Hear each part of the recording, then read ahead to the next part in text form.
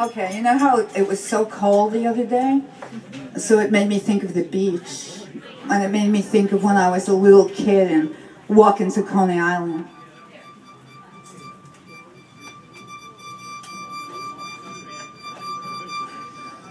I don't remember why we decided to walk to Coney Island.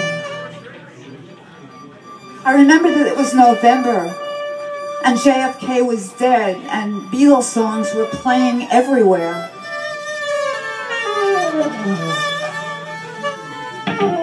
Maybe we decided to walk to Coney Island because our parents worked on Saturday.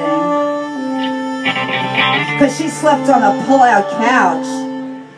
Because the other girls were prettier. Because we were picked last for punch ball. Because my socks didn't match.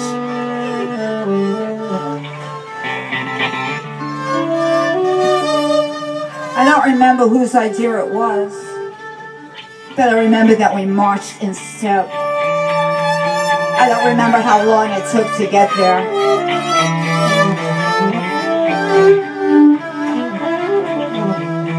I remember seeing the parachute jump and a boarded up hotel and that nothing smelled like cotton candy and that even Nathan's was empty. And I remember the way Coney Island ignored us like a potential lover who has changed his mind.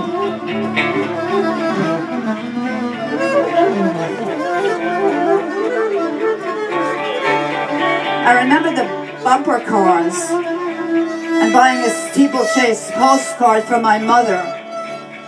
I don't remember what else we did, but I remember riding home silently on the F train, our disappointment making us irritable with one another. And I re remember our parents waiting on the corner. And I remember the slap across my face. And I remember going home and taking a bath and wondering why was Coney Island so mean the winter and how long will it take to walk there in the spring.